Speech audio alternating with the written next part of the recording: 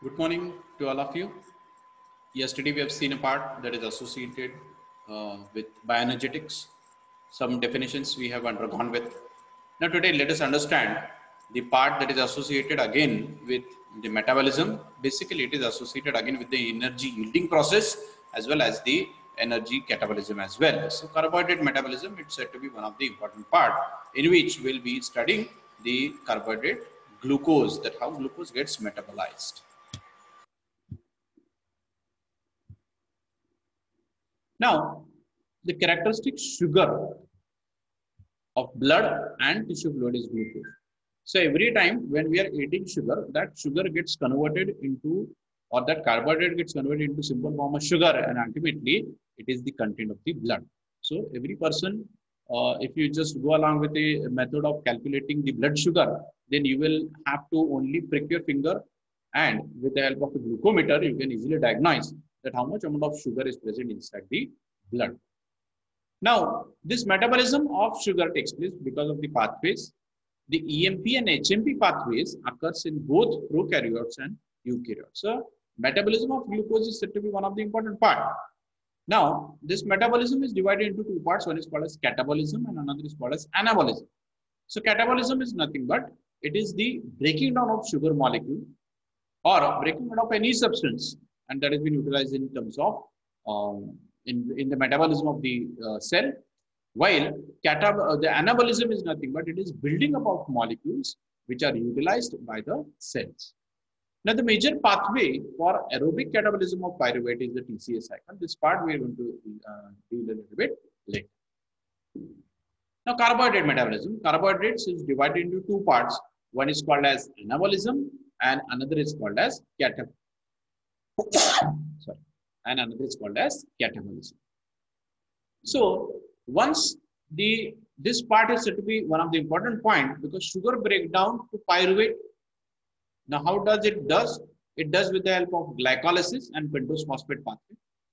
Secondly, another cycle is there which is associated with the gly glycolysis is the Krebs cycle.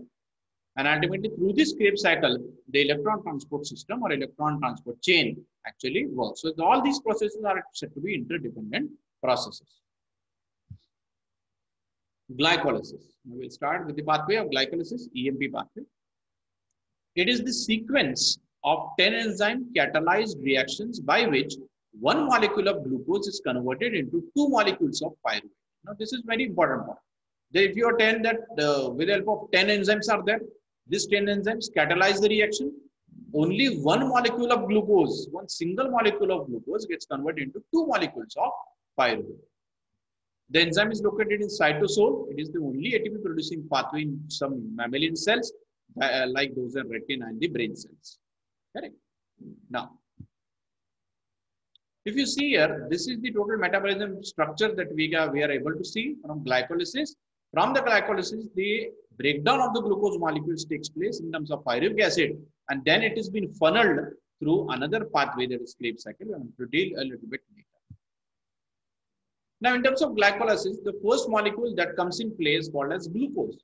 So what is glucose? This glucose is a 6 carbon molecule. Ultimately, it gets converted into glucose 6 phosphate with the help of ATP. This ATP donates its phosphate group at this particular junction and with the help of enzyme hexokinase, this conversion is possible. So glucose gets converted into glucose 6-phosphate with the help of enzyme hexokinase. Hexokinase, most important. Then this glucose 6-phosphate gets converted into fructose 6-phosphate. If you see the structure, now this is the pentameric structure that explains the fructose is said to be a pentameric molecule and glucose 6-phosphate gets converted into fructose 6-phosphate with the help of enzyme phosphoglucoisomerase. Phosphoglucoisomerase. Correct. This fructose 6 phosphate gets converted into 1,6 fructose 1,6 bisphosphate. So at first carbon and the sixth carbon, uh, the fifth carbon of that particular uh, molecule of fructose, ultimately the uh, phosphates are being linked up with the help of an enzyme phosphofructokinase. Another ATP molecule is being utilized which gives the phosphate group at this particular point. Now fructose 1,6 bisphosphate gets converted into two products. One is called as dihydroxyacetone phosphate and glyceraldehyde 3-phosphate. Again, the enzyme is called as aldolase, aldolase enzyme. Now, these two products, dihydroxyacetone uh, phosphate and glyceraldehyde 3-phosphate are interconvertible product with the help of enzyme isomerases. Correct? If you see the structurally, then ultimately the structures, they, when, with the help of an enzyme, it can easily convert these two structures into their intermediate forms. Now, moving further, with the help of an enzyme, triose phosphate dehydrogenases and one NAD, NAD molecule is being utilized over here. 1,3-bis phosphoglycerate is generated. 1,3-bis phosphate is phosphate is generated. This do not remain stable for a long period of time and immediately gets converted to 3-phosphoglycerate by the help of enzyme phosphoglycerokinase. Again, here the ADP molecules now get converted to ATP molecule. Two molecules of ATP have been released. So 3-phosphoglycerate gets converted to 2-phosphoglycerate. One phosphate molecule goes off with the help of enzyme phosphoglyceromutase. And this phosphoglycerate, uh, 2-phosphoglycerate with the help of enolase gets converted to phosphoenol pyruvate, which ultimately leads to develop pyruvate with the help of enzyme pyruvate kinase. So this is the reaction of glycolysis.